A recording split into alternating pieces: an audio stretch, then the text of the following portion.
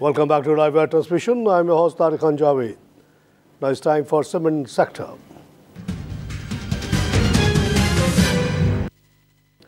Growth in cement sector and CPEC demand पे आज का टॉपिक है uh, नाजिन uh, ये कहा जा रहा है कि जी पाकिस्तान की रियल इस्टेट इंडस्ट्री जो है वो स्लो डाउन हो गई है और uh, मुश्किल में आ गई है लेकिन जब हम सीमेंट की सेल को देखते हैं तो वहाँ तो हमें कोई कमी नज़र नहीं आती और रिकॉर्ड सेल और प्रोडक्शन कैपेसिटी भी रिकॉर्ड पे नज़र आती है। उसकी वजह यह है कि जो नॉर्थ का इलाका है, वहाँ पे सबसे ज़्यादा सेल हो रही है। जो आखिरी फिगर आई अक्टूबर की पॉइंट टू मिलियन वाला की सेल उसमें से जो है सिर्फ़ छः लाख जो है फोर्टी टू लाख में से सिर्फ़ छः लाख जो है साउथ के रीजन में।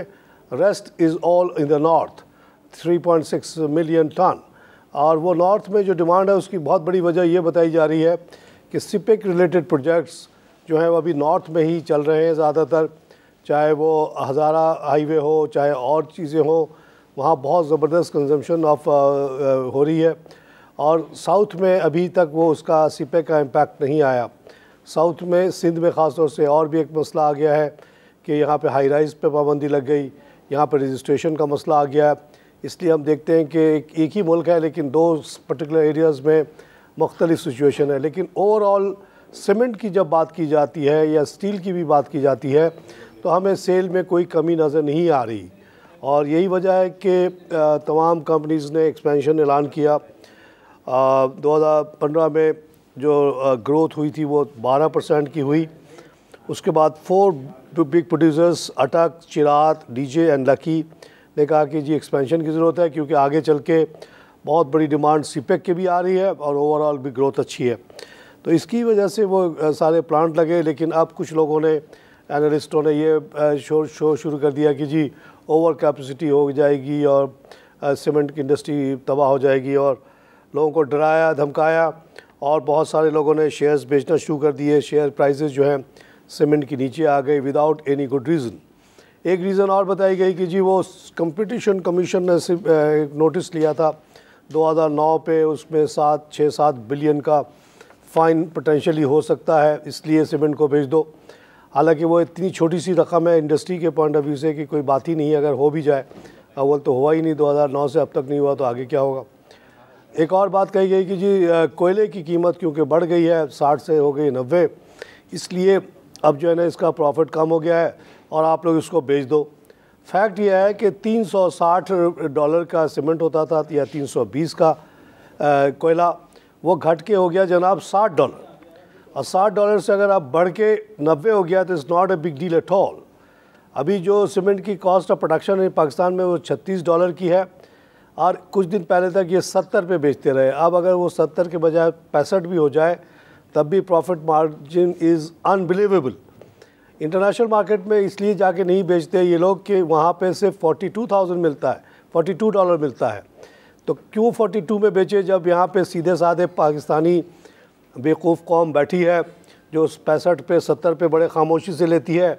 ना उसका कोई लीडर कुछ बोलता है, ना कंपटीशन कमीशन कुछ बोलता है, ना कोई बड़ा एनालिस्ट कोई बोलता है, जो बड़े बड़े सर वाले बैठे हुए हैं, शाम का शो करने वाला, उनको शायद ये फिगर भी नहीं पता कि छत्तीस की बनी हुई चीज़ सत्तर में बिकती है आपके कौम को।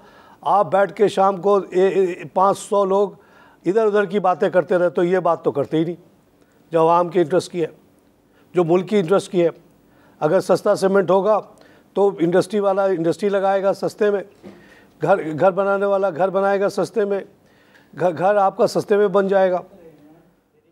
साढ़े तीन सौ रुपये से ज़्यादा का सीमेंट पाकिस्तान में नहीं होना चाहिए, लेकिन यहाँ पे आराम से सात सौ छः सौ, साढ़े पाँच सौ पाँच सौ में बिकता है ये। कोई बोलने वाला नहीं है, क्योंकि ये सीधी सादी कौम है। इसको उलझाए रखा हुआ है, गैर ज़रूरी बातों में। असली बात को कोई लाने नहीं देता। तारिक खान जब असली बात बोलता है तो आग लग जाती है, धमकी आती है, रिश्वत आती है कि आ जाओ जी, फलाने चैनल में आके बैठ जाओ, इतनी तनख्वाह दे देंगे। और और ये तुम्हारे तो ये हो जाएगा। लेकिन मुझे पता है उस चैनल पे जाके मेरा मुँह बंद कर दिया जाएगा। मुझे कहा जाएगा कि ये सब बातें नहीं करो इधर उधर की बातें करो। मैं नहीं करूँगा। ऐसे दूसरे चैनल पे एक बात, इसी चैनल पे बोलूँगा कि हाँ मुझे बोलने की फुल इजाज़त है। कभी मालिका ने नहीं कहा कि तुम सीमेंट के ख़िलाफ़, लॉबी के ख़िलाफ़ क्यों बोलते हो? इतना बड़ा कार्टेल है, वो हमें इश्तहार नहीं देंगे। नहीं बोला। स्टील के ख़िलाफ़ क्यों बोलते हो? स्टील का इतना बड़ा कार्टेल है। नहीं बोला। जो फैक्ट है हम बताते रहते हैं। स्टील भी इस मुल्क में तक, तकरीबन डबल कीमत पे बिक रही है क्योंकि ओवरऑल दुनिया में स्टील की कीमत नीचे आ चुकी है। स्क्रैप ये जो आप लोग लोहा फेंक देते हो इस्तेमाल के बाद उसको स्क्रैप कहा जाता है चाहे वो गाड़ी हो चाहे कोई और चीज़ हो। उसकी कीमत साढ़े सात सौ डॉलर से घटते घटते तीन सौ डॉलर पे आ गई। स्क्रैप कोई भी आदमी ले आए उसको 260 डिग्री टेम्परेचर में गर्म कर दे तो वो पिघल के मादा शक्ल हो जाएगा।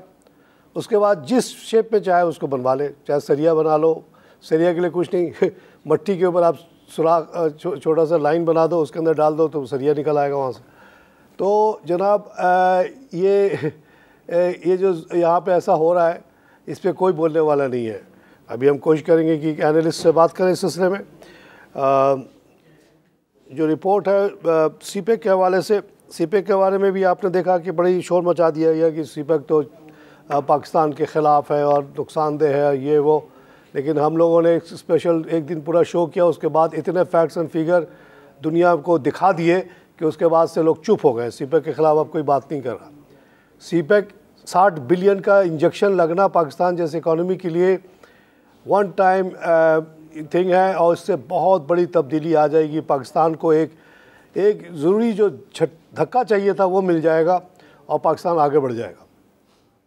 अभी जो ग्रोथ सेल की आप देखते हैं सीमेंट की, लोहे की, उसकी वजह से आप देखते हैं कि इतनी ज़्यादा जॉब क्रिएट हो रही है, इतनी एक्सपेंशन अब्जॉर्ब हो रही है।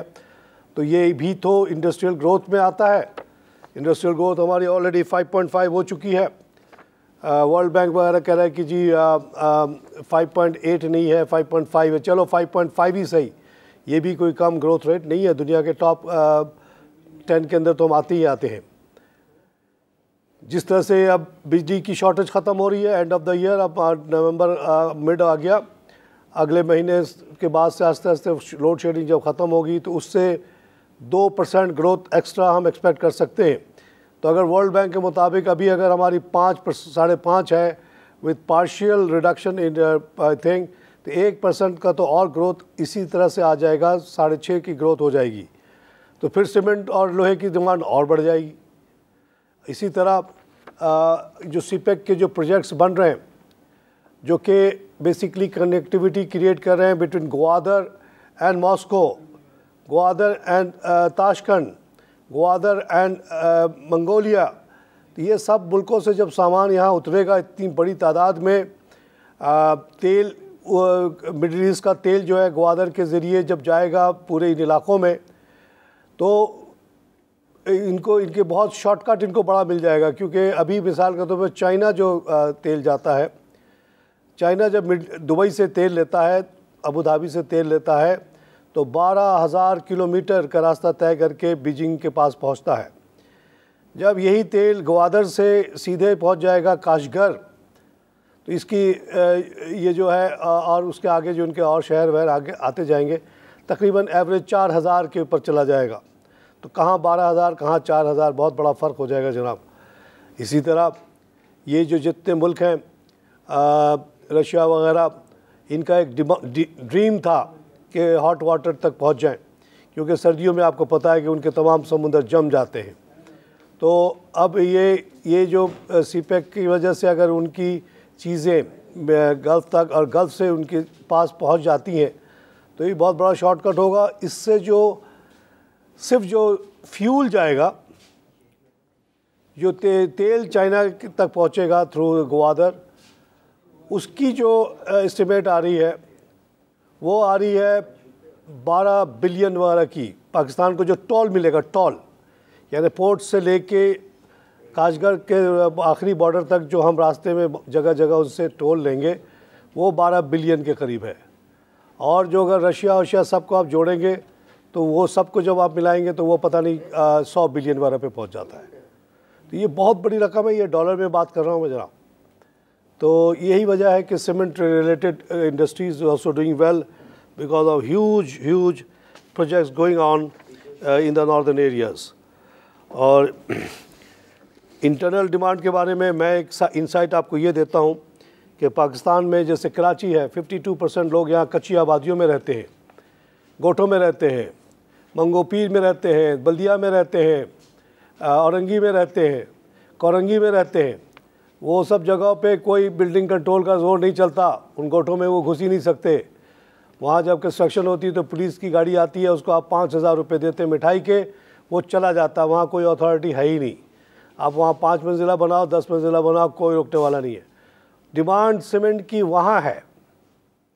अल हिलाल में नहीं है, क्योंकि तीसरे मंजिले पे तोड़ने के लिए आ जाती है छः छः गाड़ियाँ। जब उससे मैं पूछता हूँ कि ऑलरेडी जो इतने गलत बने हुए उनको क्यों नहीं तोड़ता? कहता, जी अब वहाँ फैमिली रह रही है, हम कुछ नहीं कर सकते। मैंने कहा ये जो तोड़ने के लिए आया इससे तू लेगा भत्ता, लाख, दो लाख, और अभी इसको भी छोड़ देगा। कहता हाँ जी, ऐसे ही होता है। तो यहाँ बदमाशी लूट मार जो है बिल्डिंग कंट्रोल की सिर्फ़ हम लोग के इलाकों में होती है। रोड की दूसरी तरफ़ नहीं होती है। वहाँ पे पचास, बीस बीस गज के ऊपर भी हम देखते हैं कि छः छः मंजिला बिल्डिंग खड़ी है सॉलिड सीमेंट की बनी हुई। सीमेंट और सरिया के अलावा उसमें कुछ है ही नहीं। वहाँ पर डिमांड जा रही है। तो आप लोगों को डिमांड की फ़िक्र नहीं करनी है। सीमेंट के शेयर्स आपके पास अगर हैं, सबको मजबूती से पकड़ के रखें, क्योंकि सीमेंट के फ्यूचर ताबनाक है। एक उर्दू का वर्ड है, मुझे मिल गया मैं दोहराता हूँ। ताबनाक। यानी इसके फ्यूचर में कोई प्रॉब्लम ही नहीं है। वजह यह है कि पाकिस्तान में अभी बहुत गुर्बत है। एक करोड़ बीस लाख घरों की कमी है। वो आज ना कल किसी ना किसी तरह से बनेंगे, चाहे गल्फ़ के पैसे से बने, चाहे किसी और तरीके से बने, बनेंगे। सब पाकिस्तानी अच्छे घरों में रहेगा आगे चल के।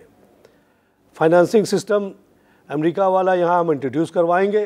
रोज़ बोलते रहते हैं, सुनता कोई नहीं है। कोई ना कोई हुक्मरान तो आएगा जो अल्लाह से डरेगा, आखिरत से डरेगा।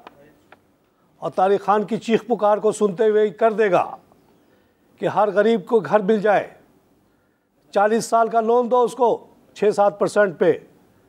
उसका किस्त उतना ही होगा जितना भी वो किराया देता है। घर का मालिक भी बन जाएगा वो।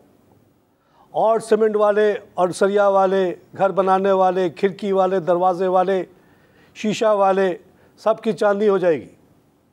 एक फाइनेंशियल इंजीनियरिंग करनी है, जिसका नारा 2009 से चिक चिक के बोलता रहा हूँ, कोई नहीं सुनता मेरी बात।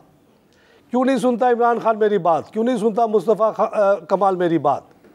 क्यों नहीं सुनता डॉक्टर फारूक सत्तार? सब मुझे ज़ाती तौर पर जानते हैं, इमरान खान भी जानते हैं। मैं क्या यहाँ झूठ बोलने बैठा हुआ हूँ? बारह लाख की नौकरी छोड़ के यहाँ बैठ गया इसलिए कि झूठ बोलूँ पाकिस्तान पाकिस्तान में? पाकिस्तान की बेहतरी, पाकिस्तान के आम लोगों की बेहतरी के लिए बोलता हूँ। मुझे चाहिए साढ़े तीन सौ रुपये का cement. Competition commission of Pakistan अभी नोटिस ले और इनकी इंडस्ट्री कार्टेल को तोड़े और इनके ऊपर पाँच छः सात बिलियन नहीं, सौ बिलियन का फाइन लगाए।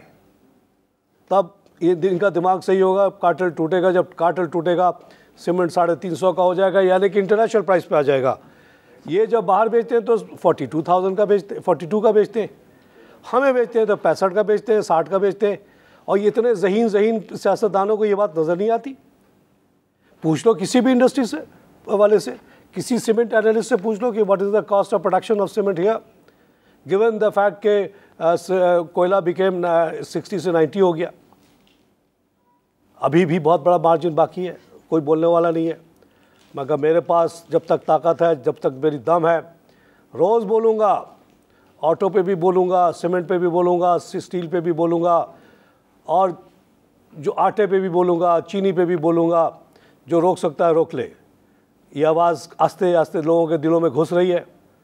सियासतदान को भी नोटिस लेना पड़ेगा। कुछ नहीं होगा तो अपनी पार्टी बनाएँगे रिफॉर्म पार्टी के नाम से। और यही मैनिफेस्टो रख देंगे इन लोग वोट दे देंगे। और ये सारे सदन का नाम ही ख़त्म हो जाएगा हिस्ट्री से। इसी के साथ इजाज़ चाहता हूँ।